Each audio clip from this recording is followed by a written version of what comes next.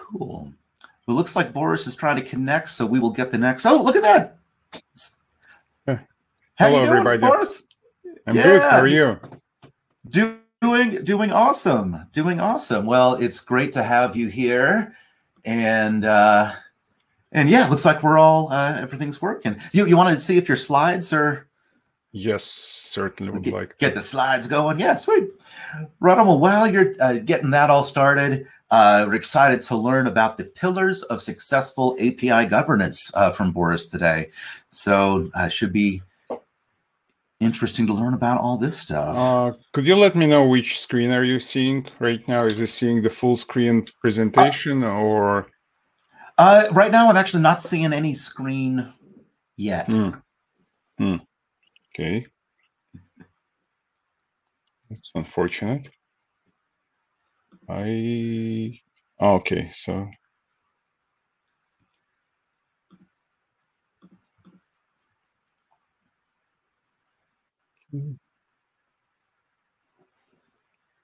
Yeah, just bear with us for just a second.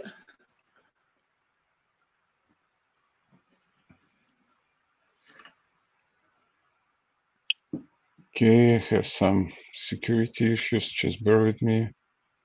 So no, no worries. That's why we started a minute early.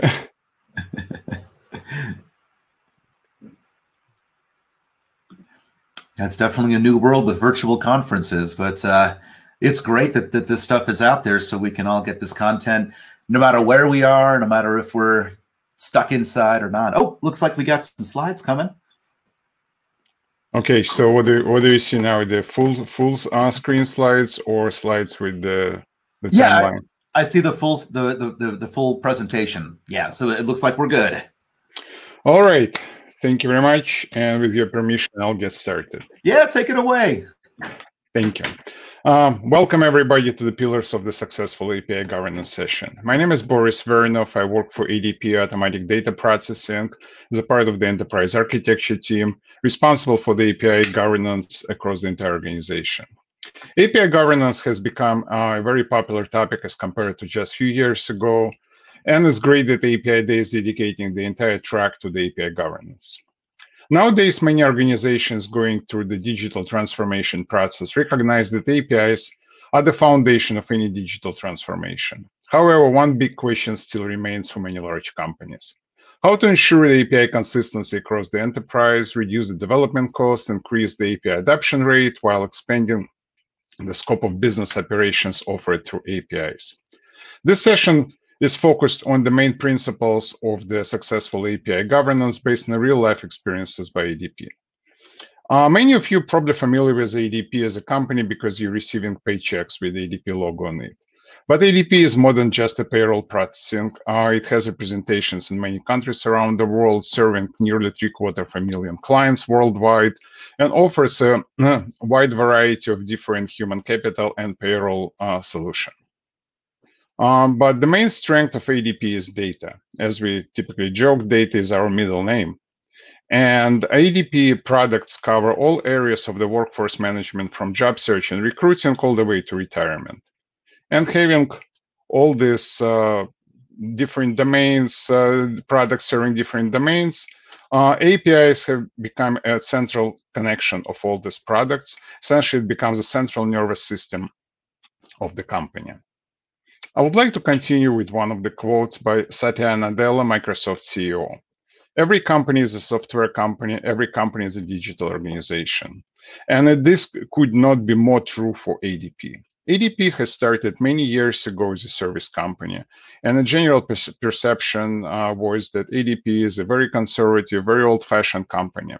But over the past few years, uh, ADP started starting as a service company, uh, has transformed actually in a software company providing services.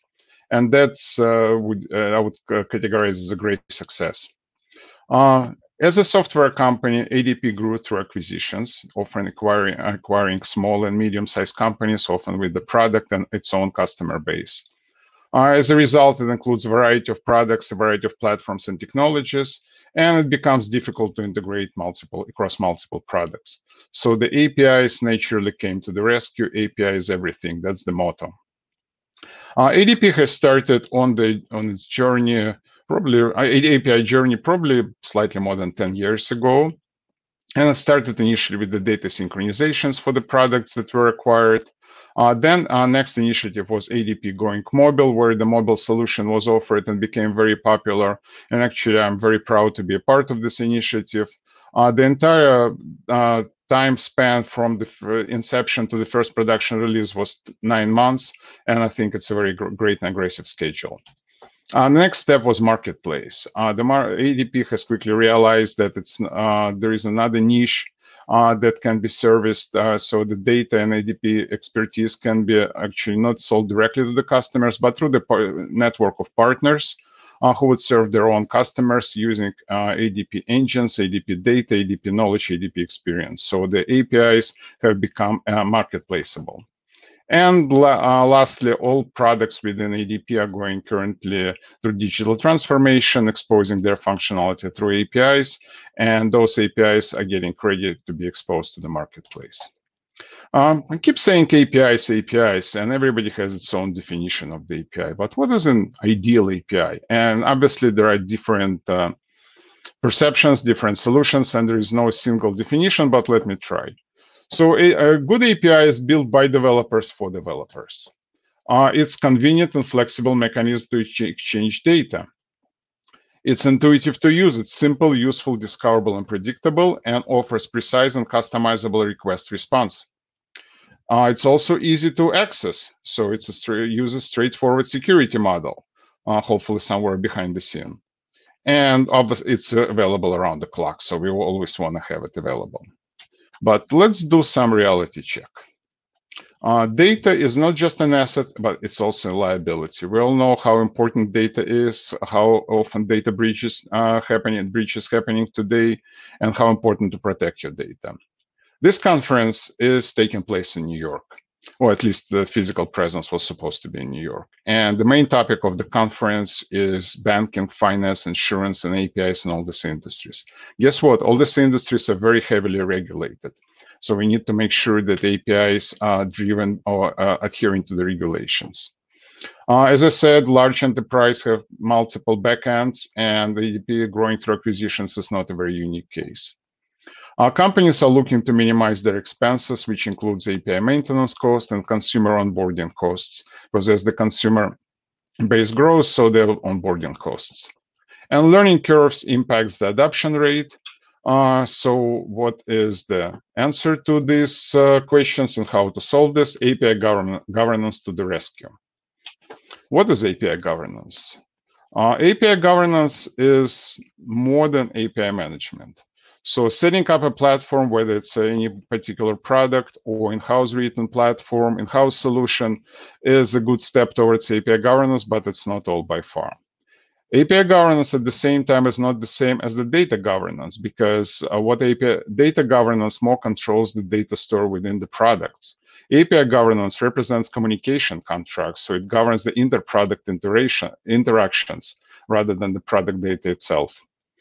APIs must be secure and share a common security model. I'm not going to be talking much about securing APIs because it's a subject for, although it is a very fundamental aspect of any API governance success, uh, it's worth a separate discussion, separate session, probably more than one session. Uh, also important aspect of the governance, no one size fits all approach. There are different levels of go governance. There are APIs, let's say, returning your location of your offices. That's one level of governance. Or APIs returning your banking information on your sensitive personal information. That's completely different level of governance. Uh, what we do, we have identified three basic level of governance. Uh, first level, the lowest level is the APIs within the boundaries of a given product. Uh, the next one is the API still within uh, ADP ecosystem, but uh, cross-product communication, that's medium level of governance, and APIs exposed uh, through the marketplace to external consumers, that's the highest level of governance.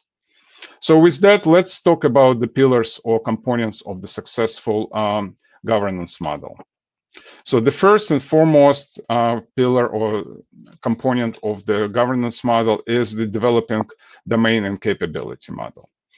Uh, I'm not talking about very specific uh, object model or very specific uh, representation. I'm mostly talking about logical model that would drive the API payloads. Uh, the business terms that are part of the domain model would drive the JSON schema components, and that would become in turn API building blocks. It's important to realize that there are different granularity levels. So some of them very primitive, some of them a little more coarse, some of them very business oriented. Uh, those components are not built in stone. Uh, they maintain via inner sourcing, so different teams can potentially suggest the changes. But important things to understand that this, those components, uh, those building blocks still needs to be mappable to the business terms while being contextualizable. What does contextualizable mean? Uh, it means that uh, different APIs, although it's the same business term and a different geopolitical context or different industry context, can have certain elements that are either applicable or not applicable. And while the same business term is remain unchanged, the representation through API or through the JSON schema, through the JSON component can differ. Uh, capability model. Again, that's a topic for the whole new presentation, which is uh, I'm, I'm, planning to do in one of the upcoming um, conferences. Um, capability model. The capability model actually wraps around what can be done to certain elements within your um, domain model. It actually wraps up the whole processes around. And while the resources of your APIs are based on business terms, such as domain model, operations are driven by the capability model. So that's the first pillar of success. The second one is embracing API first design approach. Uh, it's been said a lot over past few years how important API first design approach, and I'm not here to advocate it. I'm just saying that not every team is very welcoming it. Uh, sometimes teams would like to have uh, instead of having specification coming before implementation, would like to do implementation first and then generate specification using one of many software packages around. And that's not something that we embrace or uh, suggest. Uh, APIs using API first approach, API typically designed for longer life and backwards compatibility because some research is done up front and uh, a designer has a chance to review and actually see the different use cases. It's aligned to the business capability model. Why is it important? Because there are different products and they sometimes can have overlapping functionality. And within this overlapping functionality, they can have different realizations of the same features. So when the APIs are exposed, they should be mappable to those uh, internal screens, internal features, and represent consistent look and feel. So it, that, that's why it's important to have it mapped to the business capability model. Uh, the APIs are self-descriptive, JSON schema, Open API, or any other standard. Support code generation. That's again as opposed to write code first and generate specifications later. Uh, despite popular opinion, it actually makes things uh, go faster because it enables producer consumer parallel development. Uh, both can code to completed specifications, unit testing using the predefined contracts, so there is no dependency on each other.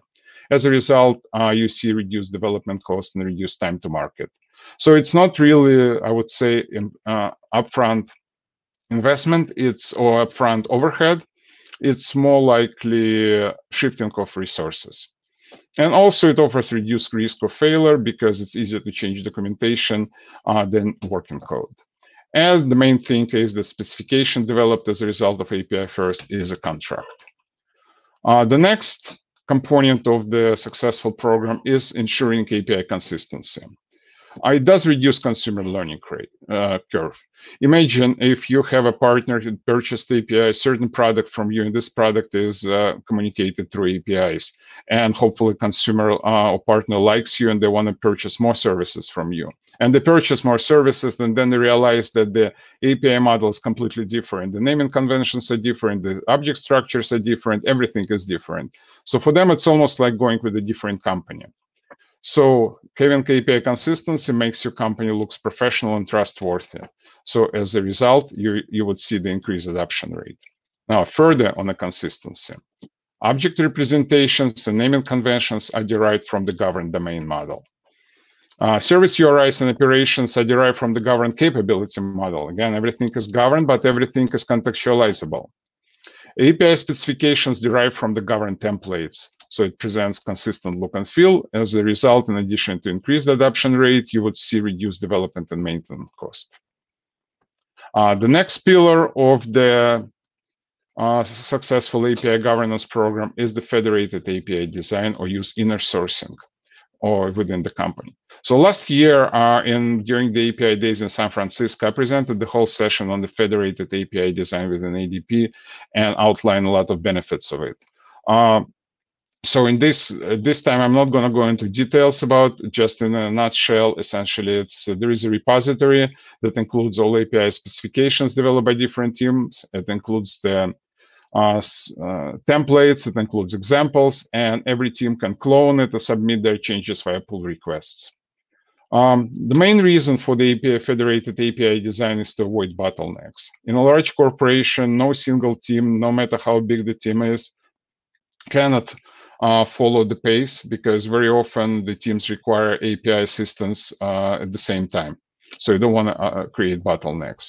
Also, no single team would have all, uh, ever have enough expertise to go across the diversified uh, portfolio of products and have expertise in every single product. So you want to use expertise from multiple sources. And also you want to evaluate different designs by different teams, see different viewpoints. But the main uh, reason for the API, main goal of the federated API design is to scale API portfolio. This is actually a high-level chart of how the federated uh, um, API design works. Essentially, it's a classic open or inner source model because it's within the same company. Uh, so the subject matter experts from different domains, different products submit their changes. Uh, they're reviewed by the API governance and become official publication. Of course, this is very oversimplified project. I mean, oversimplified view. And the main reason for this simplification, I have not gone uh, through the API uh, governance program uh, from the API governance body, which is a very essential and critical component of the successful API governance. Uh, what is the API governance organization and how we build the API governance organization? Uh, governance organization is both centralized and federated. Um, it includes the centralized Center of Enablement API stewards, or sometimes called Center of Excellence. I think that was Gartner's suggestion going back to 2001 to have to call it Center of Excellence. I've seen it both ways. Uh, so it has the business unit API stewards and also includes the product subject matter experts. One of the interesting features is or flexibility of this distributed model that BU product onboarding occurs as needed. So if the product is not ready to engage with the digital transformation, they don't have to be a part of the governance organization, although it's strictly, I mean, it's highly recommended to be to represent but it's up to the product when they decide to join. Uh, the governance organization has visibility to enterprise capabilities across different business units, and across different products. So very often the products would not be aware of something already existent, uh, simply because it goes outside of their boundary, and that's the centralized government or shared governance organization would help a lot. Uh, one of the features that we're particularly proud of is embracing a culture of ambassadors, trusted representatives. So essentially, it's a trainer-trainer approach. Uh, it's very difficult to have train to train um, multiple Scrum development teams across a large organization. And what we do, we work with the business unit leadership to have the designated senior level architects uh, who would actually be trained in all the aspects of the governance, all the aspects of the API development. They would know uh, what are the standards, what are the expectations, what are the templates, what are the tools available to help them. And in turn, they would kind of uh, train their own teams and uh, having the uh, deep business knowledge of their product, having or knowing all the nuances of their product, it would be much more easier to communicate with the development team rather than the centralized organization, which would be communicating often in abstract terms, and that would uh, make the communication much harder. Um, provides the governance organization provide guidance to development teams and maintains documentation and tutorial, publishes, maintains specifications, and seeks the executive sponsorship. Very important, last but not least. Uh, no matter how good your organization, how uh, governance uh, structure is, sometimes a little push from the executives is needed uh, just to make sure that the, the value is recognized and the direction is set by the top management to follow the rules. Um, this chart kind of represents a very high level of um, the governance process. And again, there is a, a, big distinction between governance and guidance. What we're trying to do, we're trying to maintain as much guidance as possible and as little governance as possible. And it very much depends on the experience of the teams that worked with us before. And uh, the more experienced the teams, the more guidance, less governance are required. Uh, so basically, that's what it is. It's the product owner would submit the integration, uh, submit the integration request to the uh, business unit architect. The business unit architect would in turn uh, consult with the business unit API stewards who would seek uh, guidance from the COE API stewards who would in turn check with the product SMEs as well as the BU um, API stewards. So when they submit their review back to the product architect, product architect take it into consideration and submit the final uh, design for the review to the centralized governance body, which would again consult with product SMEs, uh, if needed, with the business unit stewards, and uh, make this uh, uh, accept the specification change and make it available. Uh, last but not least, communication and marketing there is, you know, there are many sayings, uh, wisdoms uh, on this topic, like uh, if you're not in Google, you don't exist. If a tree falls in a forest and no one is there, does it still make a sound? Well, you do want to make a sound. No matter how good your program is, if nobody's heard about it, then it's as good as non-existent. So what do we do to communicate and market our program? Conduct lunch and learn sessions. Uh, very important and very informal uh, step to do it. We run uh, social media style discussions forums, uh, uh, company-wide meetups and presentations, hands-on workshops to train the data stewards and architects. That's the very important part that we spend a lot of time doing. Hands-on, train the trainer. The investment is rather large in the beginning, but the pay, payback is huge. once you train the architects, once they can see the world through your eyes, uh, you have much less headaches and much smoother process of reviewing and accepting uh, the specifications submitted from different teams. Uh, weekly notification of changes, additions, updates, uh, deprecations of the APIs. Maintaining API registry, which is a repository of all API specifications. During my last year presentation, I also kind of touched up on this topic. Uh, what we do with the API registry is not just a content management system that includes the a a API specification. It also has programmatic machine readable interfaces. It exposes its own set of APIs and publishes its own events. So when there are specification added or changed, uh, different infrastructure components such as permission stores, such as enterprise service bus, they can actually uh, subscribe to those notifications and uh, enable the uh, API proxy for routing uh, they can actually subscribe to those notifications and uh, drive their configuration based on it. Again, this is a topic for separate session. I just want to uh, in, mention that API registry is not just a, a content-based repository. And it also, uh, the communication marketing would include the maintaining API governance portal, which includes standards, guidelines, tutorials, and metrics. Um, let me summarize the pillars of success. That's what we kind of discovery discovered by trial and error. Um, develop domain and capability model, very important to ensure that your APIs follow the same model. Uh, embrace API first design, uh, reduce time to market, uh, and increase the adoption rate. Maintain consistent API look and feel. Actually, this one more uh, triggers uh, increased adoption rate. Uh, employ federated API design to utilize expertise across your entire organization. So you're not limited to any particular uh, team. Uh, you're not dependent on any particular team or individual expertise uh, to develop the APIs. Establish distributed government organization. Again, you want to avoid bottlenecks. You want to uh, collect expertise. You want to make sure that the priorities are managed accordingly, and you want to make sure that everybody's participating. One of the actually main aspects of the adoption of your program is uh, using the federated design and distributed governance organization. It is much higher chance that somebody who feel who felt that they participated in defining the standards uh, would follow those standards as opposed to those standards being pushed from the top. So make sure people are involved. Make sure that nobody nobody opinions is overheard and to try to take into account everybody feedback.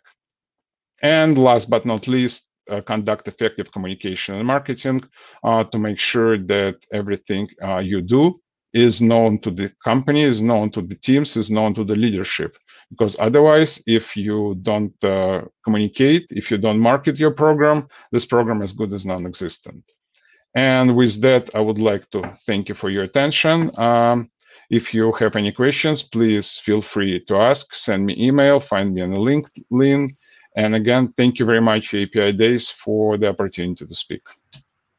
Yeah, thank you so much, Boris, for the great talk on governance. And we have actually time for maybe one question while Gabriel's getting uh, set up and connected. So uh, you can drop any questions in the uh, in the chat.